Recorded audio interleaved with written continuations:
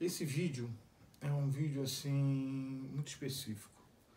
É um vídeo primeiro para agradecer a todas as pessoas que participaram e confiaram no meu trabalho. Presidente da Associação Brasileira de Boxe, Alessandro Leite, formou vários atletas, foi campeão também brasileiro e de vários títulos. O nosso parceiro também, Cesário Figueiredo, que também formou um monte de atleta, um monte de professor. Foram pessoas pelas quais eu passei na minha história e que acreditaram no meu trabalho, desde o Kelvin, em Angra dos Reis, que foi um grande treinador também para mim, no Muay Thai, no caso. Ronaldo Sica, que está sempre aí na atividade, que é aluno, um dos primeiros alunos do, do nosso grande mestre, Cláudio Coelho. Luiz Dória, queria agradecer especialmente aqueles que participaram do canal. Luiz Dória esteve aqui com a gente, formou grandes atletas a nível mundial e internacional e acreditaram no meu trabalho. Participaram dos vídeos comigo e valorizaram o trabalho que a gente tem feito para trazer boxe ao máximo de pessoas possíveis. Mas infelizmente tem muita gente que não tem um pensamento parecido com o nosso, que não está muito preocupado em engrandecer o esporte, em agregar o esporte. Estou preocupado com coisas mais subjetivas, coisas às vezes que não são tão importantes quanto o bem do esporte para o país, entendeu? Como um todo. Eu sou um cara que eu fui criado por um pai que é karateca e eu sempre segui o Bushido. Para quem não sabe o que é Bushido, Bushido é uma, uma doutrina que os samurais seguiam há muitos anos, há muitos séculos atrás, que ela é baseada em sete virtudes. A primeira virtude é o Gi. O Gi é justiça, é a primeira. Justiça no sentido de ser justo consigo mesmo e com o próximo. A moralidade no sentido de buscar algo que é moral, algo que é sério, algo que é próxima, próxima até o justo, né? Atitude direta, razão correta. O que, que é a razão correta para o oriental? É ele estar tá num caminho certo, ele está tentando buscar algo que realmente é bom. E isso ainda é a primeira virtude, tá? É o guia. E a segunda virtude, que é o yu, que é coragem, bravura. A terceira, que é o jin, que é compaixão e benevolência. O samurai, o guerreiro, ele busca a compaixão e a benevolência. Ele não quer o mal, ele quer o bem, na verdade. O rei, que é polidez, cortesia e amabilidade. Eu acho que eu não vou nem falar os outros, mas só o, o rei, vamos falar sobre o rei. Polidez, que é você tratar as pessoas bem, sempre, independente de quem seja. A cortesia, que é você ser grato às pessoas, você ser cortês às pessoas, você ser bom, desejar o bem. E a amabilidade. O que é amabilidade nesse mundo de hoje em dia? As pessoas são cruéis, as pessoas são competitivas e elas esquecem de ser boas umas para as outras. Então a amabilidade está cada vez mais longe da nossa realidade. Eu sigo essa doutrina, eu acredito nisso. Isso é parte de mim. E vamos falar um pouquinho então sobre um outro lado também que eu acredito muito. Eu acredito muito em Freud. Quando a gente pensa no ser humano, Freud foi um grande rei da psicanálise, um grande pensador, um grande filósofo, um grande psicanalista. Ele fala sobre muitas coisas, mas uma coisa que ele fala com muita propriedade é sobre os instintos. Nós somos movidos por instintos. O instinto de competitividade, o instinto de é, inveja, incompreensão, instintos naturais. Eles são fáceis de se vivenciar. Criticar, questionar, é, não aceitar, é, essa coisa do ego, sabe? Ele fala muito sobre o ego.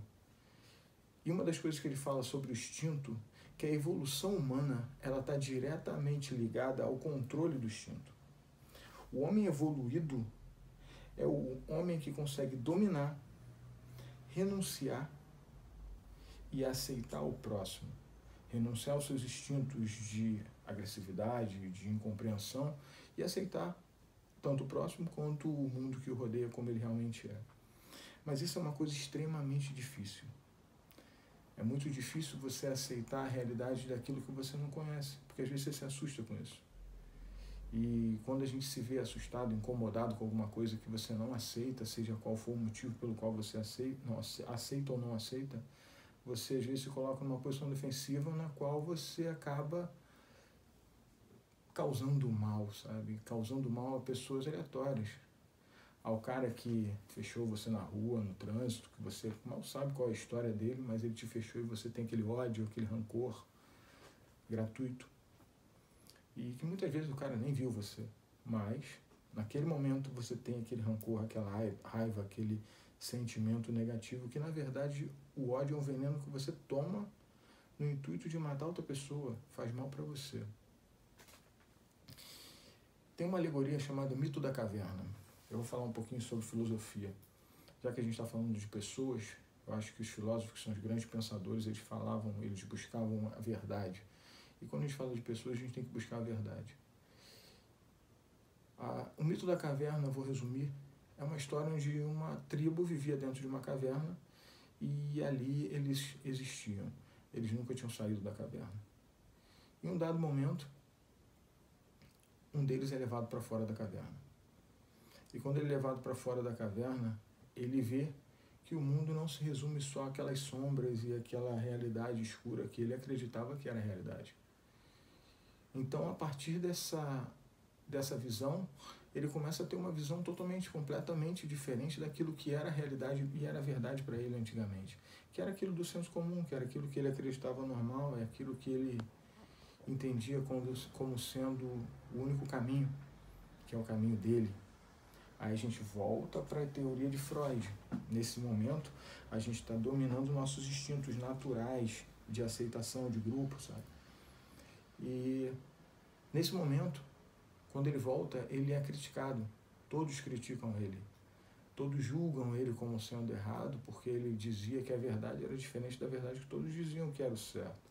Esse aquele que viu a verdade, que viu a luz, muitas vezes não vai ser o que vai ser o líder para todos. Muitas vezes ele vai ser criticado. A diferença está em um detalhezinho, na diferença entre o inteligente e o sábio. A diferença entre o inteligente e o sábio, dentre outras, é que o inteligente aprende com seus próprios erros e o sábio aprende com os erros dos outros e evolui a partir disso. A consciência das fraquezas, essa relação da consciência das fraquezas, da consciência das fraquezas de si e do outro, é o que faz o limiar entre o inteligente e o sábio. O inteligente, ele usa da fraqueza dos outros para o seu benefício para crescer, para evoluir, para se vangloriar. Ele é baseado, voltando à teoria de Freud, ao ego. Ele se vangloria do que ele é ou acredita ser para se colocar como algo melhor. Enquanto o sábio, ele conhece, reconhece seu erro, reconhece a sua fraqueza e busca melhorar a fraqueza do próximo. Ele busca ajudar gratuitamente aqueles que precisam a fim de que as fraquezas sejam diminuídas, pois ele sabe, pois ele aprendeu que o erro pode ser reflexo de uma fraqueza. E por sua vez, ele quer que os outros, que muitas vezes não são tão sábios ou não são tão inteligentes, possam ter a possibilidade de aprender como ele aprendeu a entender os seus erros e as suas fraquezas da melhor forma possível. Não vou me me aumentar muito aí no papo, não, porque eu gosto de falar sobre essas coisas, sabe? Então, senão eu vou falando para sempre. Eu vou falar só sobre um cara que eu gosto muito, que é Sócrates. Vai ser o último filósofo que eu vou falar, tá, galera? Sócrates, ele tinha uma teoria das três peneiras. Meu sonho é que todos tivessem conhecimento dessa teoria, então vou falar para vocês que são meus seguidores, que são pessoas que fazem questão de saber o que, que eu penso. E também para todos esses que participaram dos vídeos comigo, que também acreditam no meu trabalho. Não para quem me critica ou coisa parecida, porque a esses eu tenho só desejos de que evoluam, de que cresçam cada vez mais para que seu tempo possa ser dedicado cada vez mais ao seu trabalho e não a outras coisas que não vão lhe fazer bem. As três peneiras de Sócrates são é uma alegoria. Eu vou contar a alegoria que foi mais legal. Chegou uma vez, Sócrates era um grande filósofo, né? Chegou uma vez um rapaz a ele falando que queria lhe dizer uma uma história. Antes do rapaz começar a falar, Sócrates interrompeu ele e falou: Meu filho, você conhece as três peneiras? Você está usando as três peneiras antes de vir falar comigo isso que você diz que quer me dizer? E ele questionou: Que peneiras são essas, mestre? Eu não, eu não sei quais são elas. Então, vou lhe dizer. A primeira peneira é a peneira da verdade. Aquilo que você tem a dizer para mim e para todos que você deseja dizer é irredutivelmente uma verdade, inquestionavelmente uma verdade. É algo que não seja avaliado a partir de pontos de vista. É algo que seja inquestionavelmente uma verdade. Se é, vamos à segunda peneira. A segunda peneira é a da bondade. Você acredita que aqui, isso que você acredita que seja uma verdade inquestionável, é algo que é bom, que é para o bem, algo que, se for dito, vai trazer o bem para você e para as pessoas que ouvem? É isso que você está semeando, é isso que você está colocando dentro da cabeça das pessoas, o bem, quando você diz isso que você diz?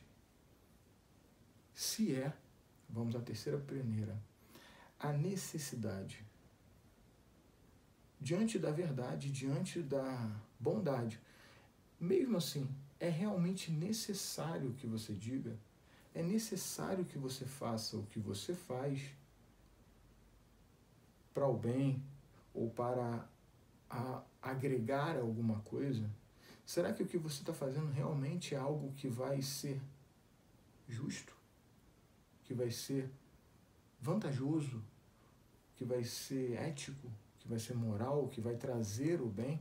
Se o que você faz, se o que você diz, se o que você acredita, se essa notícia aprendiz que você está jogando aqui para mim, se isso é algo que passa pelas três peneiras, eu faço questão de ouvir. Se não, guarde para você e busque verdades as quais você possa agregar à vida de todos que têm ouvido.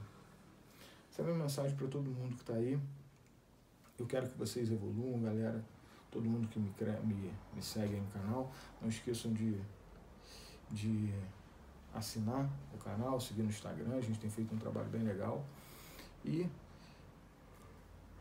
não se percam, não se percam, meus filhos. Hoje em dia é muito difícil ter um norte nessa vida. É muito difícil fazer o bem. Então, se vocês podem fazer o bem, galera, façam sempre. Tamo junto. Box.